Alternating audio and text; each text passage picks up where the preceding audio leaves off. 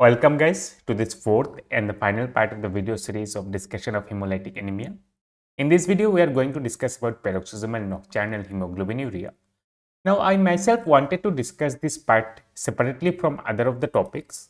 One, because it is very important one for the exam as well as for understanding point of view.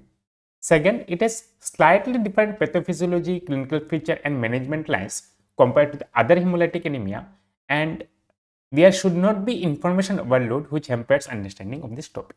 Okay, so coming to this paroxysmal nocturnal hemoglobinuria, first thing that should be always kept in mind that it is nothing but a misnomer, right? So it is not paroxysmal actually, it is but rather acute on chronic variety of disease. Then it is not only nocturnal, uh, but rather something which aggravates due to lot of factor among which nighttime is one of the aggravator. Other being stress or stasis or infection. Even physiological stressful condition like pregnancy can aggravate this condition. And and it is not only hemoglobinuria but rather pancytopenia which is more common presentation. So it is not paroxysmal, acute and chronic disease. It is not nocturnal. It is almost due to stasis pattern and it is not per se hemoglobinuria as a presentation, not only hemoglobin, it is pancytopenia usual presentation. Even aplastic anemia, PNH overlap can be the presentation also. Therefore, this is a misnomer for the disease identification. Alright. So, where does this PNH stands in the spectrum of hemolytic anemia and where does it fit into? We have revisited this chart, this table, Harrison table again and again. From here you can see PNH is acquired disease and with defect lying at the level of the RBC itself also known as the intercorpuscular defect. So this is a acquired intercorpuscular defect. Here the defect lies at the level of gene known as known as pig A gene. All right. So defect light at this PIG-A gene. Now what does it do? What does it do? Now if you consider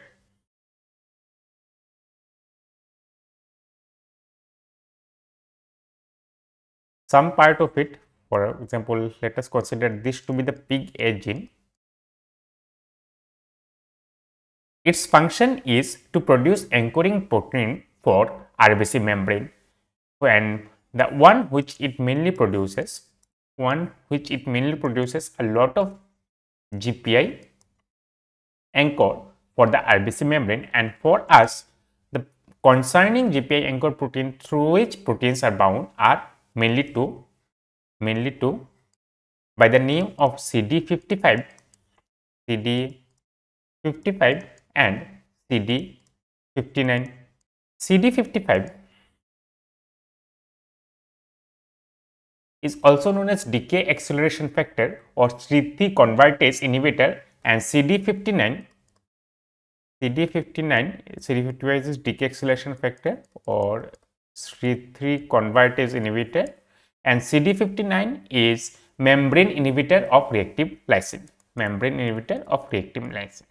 Now here there is requirement of need to understand the complement cascade pathway. Remember, complement continuously circulate in the body and and this circulating complement main function is to lyse and identify cells. Cells which are main for only for phagocytosis. It can lyse foreign cell it can lyse self cell also. Now in self cell there should be some component which help us to identify which help us to identify whether the complement should lyse or not.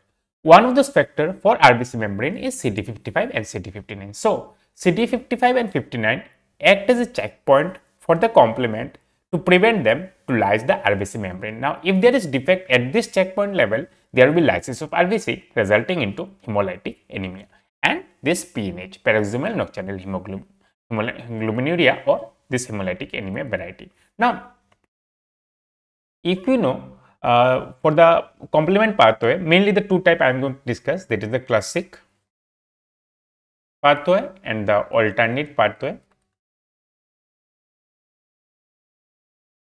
Now, classic mainly starts with the antigen antibody interaction. This antigen antibody complex activates the C1q. C1q activates C4C2. C4C2 gets converted to C3 in the presence of C3 convertase.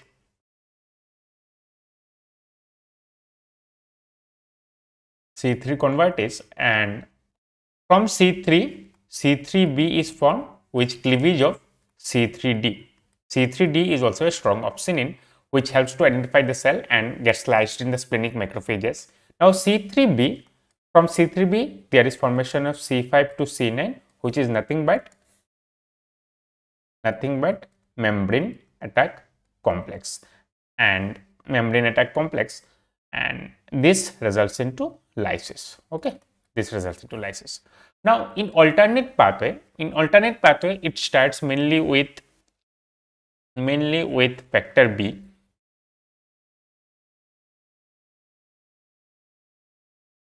Mainly with factor B, factor B from to C3 and here, here C3 convertase, uh, C3 convertase is nothing but C3B BV which is nothing but act as a C3 convertase and rest of the chart follows like similar pattern. So, so CD59 inhibits this step membrane attack complex so, CD59 inhibits this step and C3 convertase is inhibited by mainly by CD55. So, remember you can remember as CD59 is 5 9 and C5 to C9 is the membrane attack complex and CD55 has two letters same letter 5 and 5 and C3 convertase is nothing but C3BB and it is also has C3B B it is also at the same letter in it. So 55 BB and 59 and 59. All right. So you can remember this way. Now, now here what happens is there is defect at the level of CD55 or CD59. CD55 which is decay acceleration fraction or CD59 which is membrane inhibitor of reactive glycine resulting into an inability of the complement to identify the RBC membrane and lysis of RBC lysis of RBC. This is the basic this is the basic pathogenesis behind the disease process of paroxysmal nocturnal hemoglobinuria. Okay. So, you can check here again we have visited this RBC membrane chart a lot of times. So, you can see this is the CD59 moiety eh, which is associated with this transmembrane protein. Transmembrane protein is GPA which is synthesized by nothing but pig a gene. GPA or glucose phosphatide inositol. Okay, phosphatide inositol glycosol A gene, PIG-A gene helps in producing GPA, which is a transmembrane protein through which CD59 moiety or the protein is attached. Okay, now from here, from here, let's move into the symptom of symptom of PNH. Now, PNH can be remembered with a triad. It can be remembered with a triad mainly mainly triad of hemolysis, thrombosis,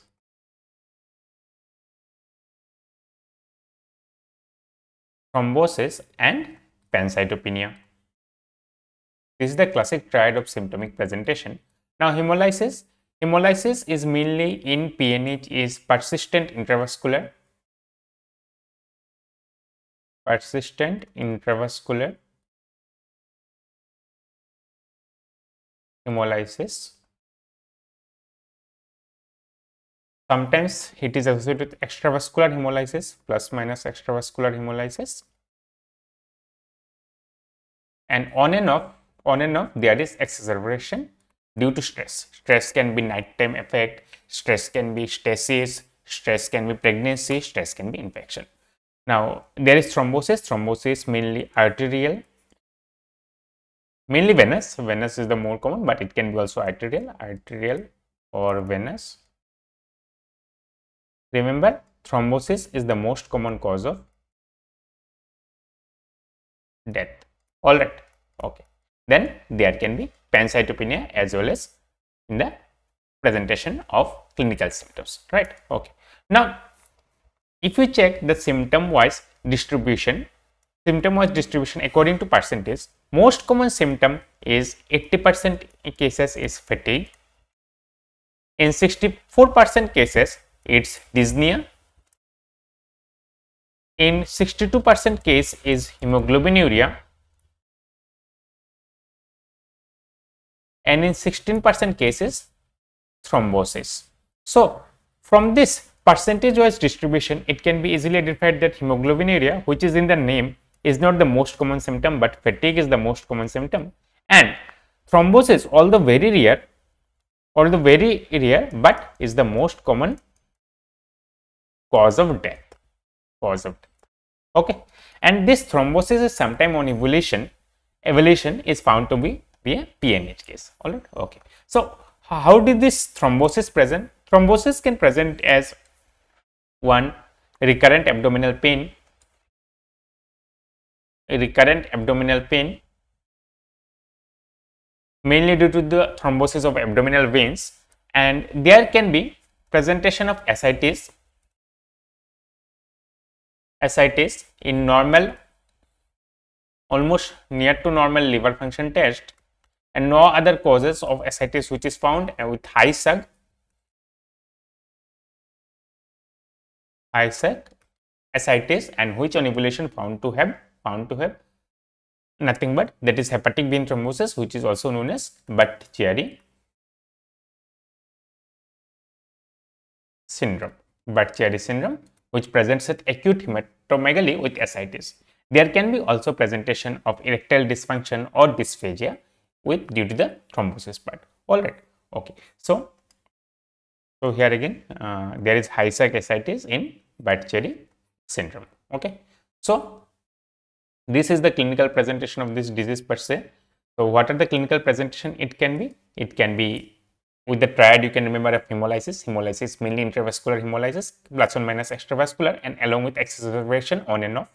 Thrombosis mainly arterial or venous but um, thrombosis is the most common cause of death or pancytopenia as presentation. Pancytopenia there is anemia, thrombocytopenia and low, low TLC count.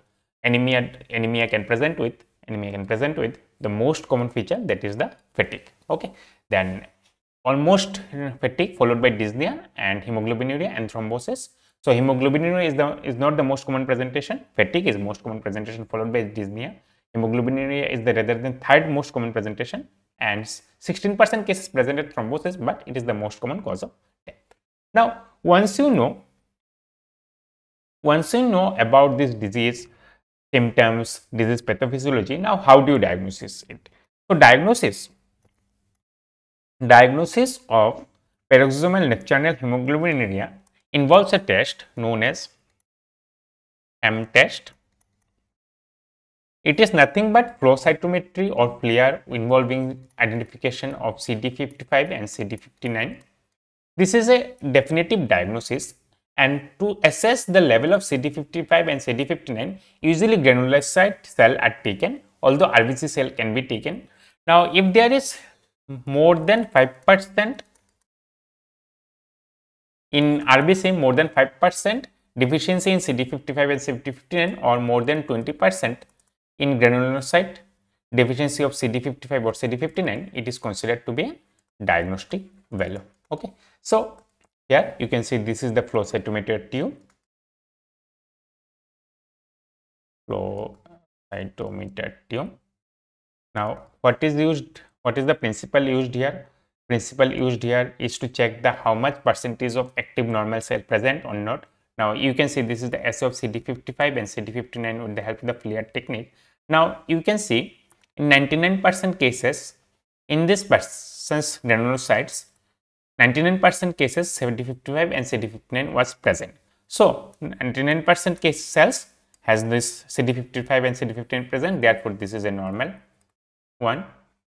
Whereas here you can see only 12% had CD55 and CD59 and in 85% cases CD55 and CD59 was absent. Therefore, it is nothing but a case of paroxysmal nocturnal hemoglobinuria. Remember, if this CD55 and CD59 is less than 10 percent, it can be aplastic anemia. 10 to 40 percent, can be aplastic anemia and PNH overlap and more than 40% is nothing but a classic PNH. Therefore, this is a case of classic PNH. Okay. So, there is an important mnemonic to identify the paroxysmal nocturnal hemoglobinopathy. For the P, you can remember it is due to PIG-A gene mutation. From H, you can remember the Ham test. Ham test is nothing but detection of CD55 and CD59 with FLAER technique. And from N, you can remember the nighttime symptom. Now, why there is nighttime symptom? There are multiple theories which has been proposed, but which one is believed morely is rather the in nighttime there is decrease in oxygen supply to the tissue level resulting in slight increase in PaCO2 level. This slight increase in PaCO2 result in a condition of increased activation of the complement and as there is more circulating complement present in the body plus there is decrease in the RBC's capability to defend itself from the complement activated. So, there is increase in lysis, increase in lysis, intravascular hemolysis and resulting into cola colored urine in the early morning, early morning urine. Okay. So, from here, let's come into the treatment part. So, how do you treat this patient? So, treatment is usually can be divided into three part Treatment can be divided into three part First part is a supportive treatment. For supportive, what we need to give? We need to give iron, folate, plus minus red blood cell transfusion and if there is thrombosis as a presentation, obviously we need to anticoagulate the patient. Okay. Now, specific treatment or definitive treatment is mainly can be through pharmacotherapy by a drug drug known as eculizumab. What does eculizumab does? Eculizumab reduces the intravascular hemolysis by inhibiting the terminal component terminal component C5 to C9. Now, as you've seen in the main pathophysiology, C5 to C9 is the membrane attack complex, which has strong association with the CD59 moiety. So, eculizumab inhibits the C5 to C9 and, and helps in lysis of the RBC. Now, if C5 to C9 is inhibited by eculizumab, so membrane attack complex is inhibited in this patient already. So, they have high risks of Neisseria, meningitis or capsulated organism infection Therefore, prior to start of eculizumab, it is mandatory to have Neisseria meningitis vaccination. Okay, vaccination again Neisseria meningitis. Now, if this therapy fails, this therapy fails, then next step obviously is allogenic hematopoietic stem cell transplant. Okay, so that's all about paroxysmal nocturnal hemoglobinuria. This is a short topic. Okay. So in the next module, we will cover the other topics from the hematology parts.